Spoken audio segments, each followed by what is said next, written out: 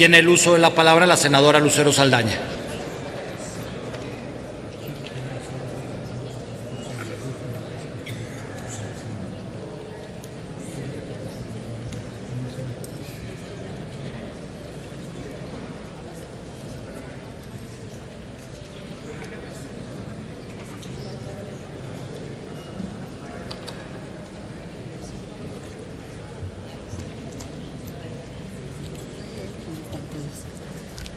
Muchas gracias, señor presidente. Venir a apoyar este dictamen que ha presentado nuestra compañera Marta Elena es señalar que podemos prevenir, podemos investigar y puede haber casos resueltos en materia de violencia en contra de las mujeres en nuestro país. A 10 años de que se tiene la ley general de acceso a las mujeres y niñas para una vida libre de violencia, sabemos que los datos, pues aunque varían, tenemos conocimiento de que mujeres en México, siete de cada diez, aceptan haber sufrido algún tipo de violencia. Y la más extrema, la dramática, que es el feminicidio, pues resulta que tiene que ver con relaciones cercanas. Por ello es muy importante que si tenemos el dato de que menos del 20% de asesinatos de mujeres en nuestro país han sido juzgados como feminicidios,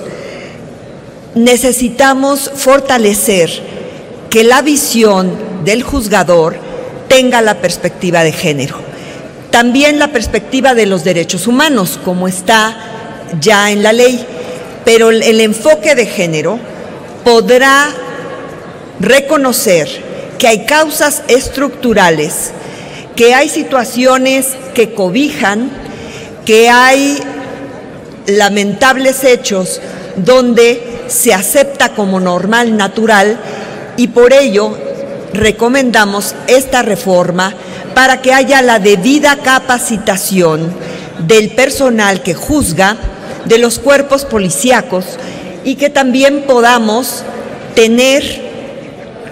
un conocimiento desde la perspectiva de los derechos humanos. Con esta reforma estaríamos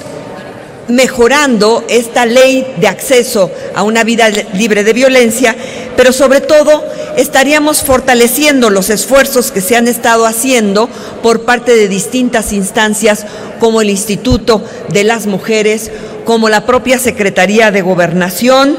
con su programa integral para prevenir, atender, sancionar y erradicar la violencia, y también eh, para la Fiscalía Especial que atiende los delitos de violencia contra las mujeres y la trata de personas. Entonces, se trata de fortalecer a los cuerpos y los servidores en materia de formación y profesionalismo con el enfoque de género, procurando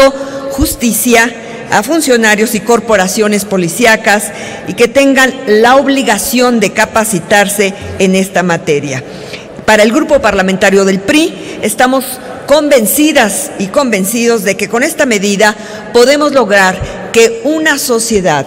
tenga relaciones más armónicas, que podamos respetarnos como seres humanos y que ante amenazas misóginas, ante amenazas mundiales de retroceder en derechos, podamos tener conciencia y no eh, dejemos que prejuicios, juicios y también mitos, estereotipos, tradiciones o los llamados usos y costumbres sean parte de eh, la vida cotidiana de hombres y mujeres. Por su atención y aprobación de este dictamen, muchas gracias.